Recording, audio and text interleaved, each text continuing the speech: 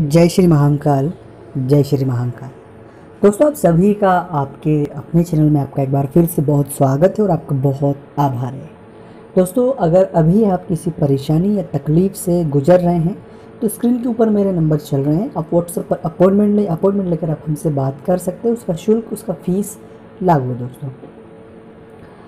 कई बार हम और आप ये गलती कर देते हैं कि किस भगवान की पूजा करें और इससे कहीं हमारी उन्नति रुकी तो नहीं है। हम जाने, अनजाने में कुछ ऐसी गलतियाँ कर देते हैं, जाने, अनजाने में कुछ ऐसी चीज़ें कर देते हैं, जिसकी वजह से हमें ये पता नहीं होता है कि हम किस तरह से चीज़ों को मैनेज करें।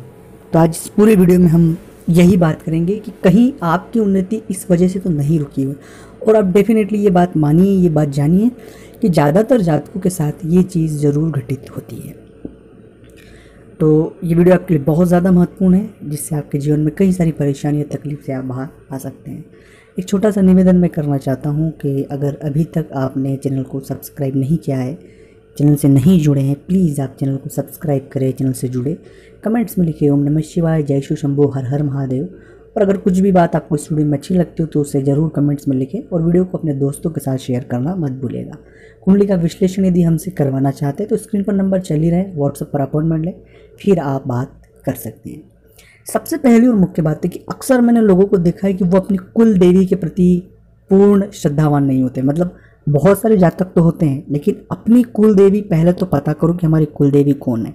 ज़्यादातर जातकों को पता है, लेकिन बहुत से जातकों को नहीं पता है। दूसरी कि कुल देवी जहाँ भी हो, वहाँ जाकर दर्शन परिवार सहित एक बार ज़रूर करें।